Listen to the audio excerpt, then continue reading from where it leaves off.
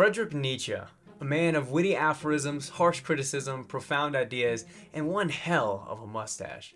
And I don't think it's hyperbole to suggest that Nietzsche is one of the greatest philosophers in history. His writing is eloquent, it's provocative, and his narratives on culture still prevail as quite useful and relevant in today's discourse.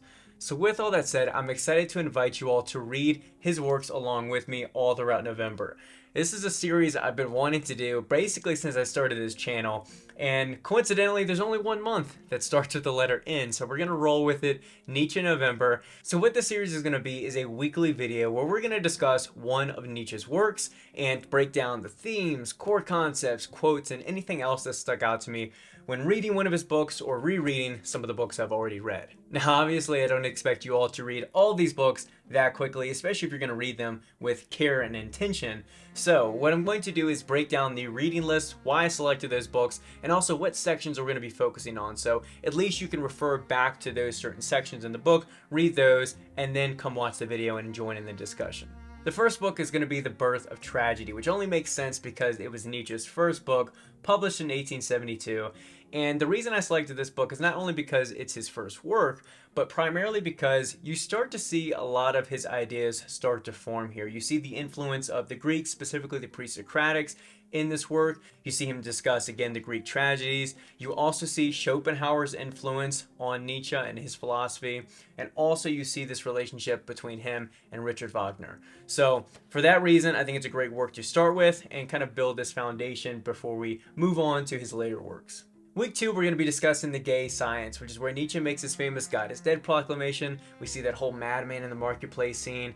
We see little inklings of his ideas, such as eternal reoccurrence. He gets to talk about culture, morality, and we start to see some of these broader ideas of Nietzschean philosophy start to form.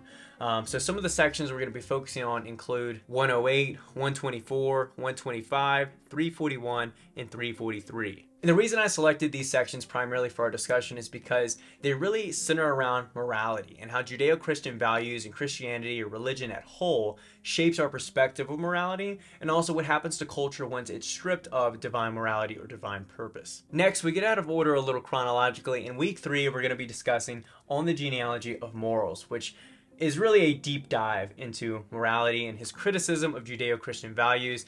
Uh, talks about sin, guilt, bad conscience. Uh, we see the breakdown of what is slave morality and master morality uh, through Nietzsche's eyes, and the problem with slave morality and, and this ascetic ideals. Um, as far as sections we're going to be focusing on, if you can't read the whole book, or if you haven't read it in the past, primarily the first and second essay within this text. Following up week three, a perfect companion piece is Beyond Good and Evil, which we're going to be discussing in week four, where Nietzsche does an even deeper dive into morality, discussing those same concepts from the past book of slave and master morality.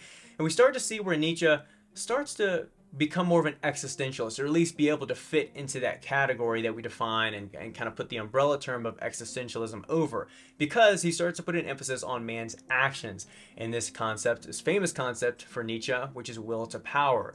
So we see this emphasis on action we see this this uh, encouragement of man defining his own values and we see all that shaped within this book.